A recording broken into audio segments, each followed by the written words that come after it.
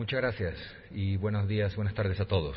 Presidenta de la Asamblea Nacional, señora Elizabeth Cabezas, presidente de la Comisión del Derecho a la Salud, William Garzón,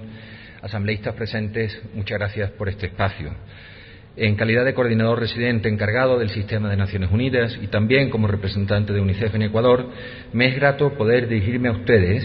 luego de haber realizado un acompañamiento al desarrollo del proyecto de Código Orgánico de Salud desde hace varios años, a través de un esfuerzo que ha involucrado a distintas agencias, OPS, OMS, UNICEF, Fondo de Población de Naciones Unidas, ONU Mujeres, PMA, FAO, ACNUR, entre otros.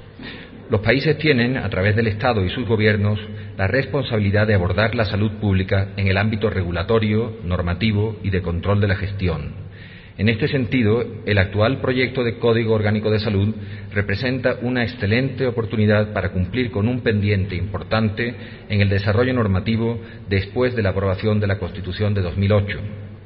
Asimismo, hemos realizado un seguimiento al avance del proyecto, el cual abarca temas relacionados con el cumplimiento de la Agenda 2030. La versión actual del proyecto, dada a conocer a la ciudadanía el pasado 14 de marzo, ha recogido observaciones previas del sistema de Naciones Unidas, con aportes documentados y basados en evidencia, en consonancia con los estándares internacionales de derechos humanos.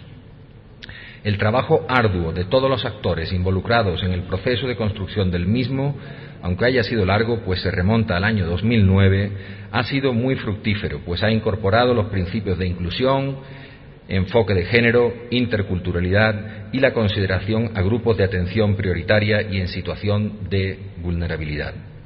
Adicionalmente, se norman aspectos trascendentales para la promoción de la salud y la prevención de las enfermedades, como es el etiquetado de alimentos de tipo semáforo, el despliegue de normas sobre sucedáneos de la leche materna y la asignación de financiamiento a través del gasto corriente para vacunas e inmunizaciones,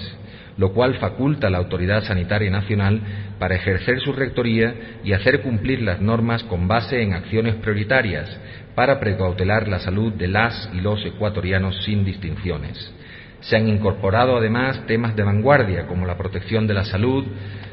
de la población infantil, el consentimiento informado y aspectos relacionados con la confidencialidad en todos sus aspectos.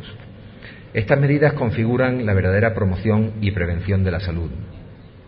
Como Naciones Unidas, promovemos el derecho a la salud y exhortamos a la discusión y aprobación del proyecto del Código Orgánico de Salud.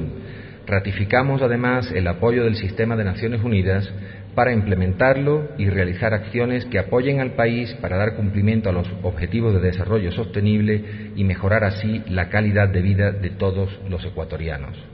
Con esto quisiera dar paso a mi colega, la doctora Gina Watson, representante de OPS en Ecuador, para que nos dé un mayor detalle sobre aspectos técnicos de este proyecto que les sirvan a ustedes, asambleístas, de insumo para tomar su decisión. Muchas gracias. Escuchábamos la intervención del doctor Joaquín González, coordinador